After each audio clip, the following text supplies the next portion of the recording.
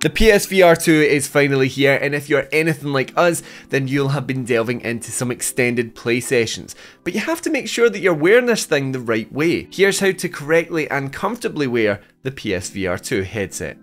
You'll want to start by pumping power into your headset by plugging it into your PS5 with a USB-C cable. Once that's done, get yourself into either a spacious standing position or comfortable seated position and ensure that any clutter has been cleared. Before you put on the headset itself, let's sort out that audio. The headset comes with its own in-ear buds which you'll slot into the audio jack on the back of the headset. However, you can also use wireless headphones like the Pulse 3D headset and even the INZONE H9s, however, these are a bit of a tighter squeeze.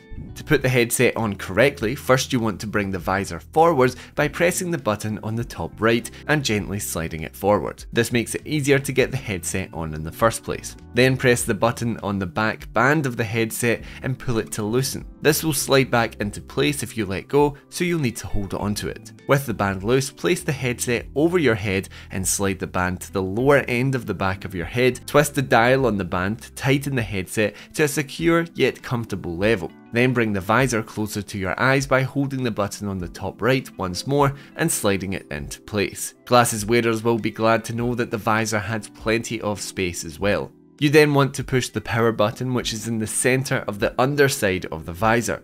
You'll feel a slight rumble through the headset to signify that it is turning on. If you need some aid to find your controllers or your pair of headphones, you can push the function button which is next to the power button to activate pass-through mode. With everything in place, you now should be wearing your PSVR 2 headset correctly and comfortably.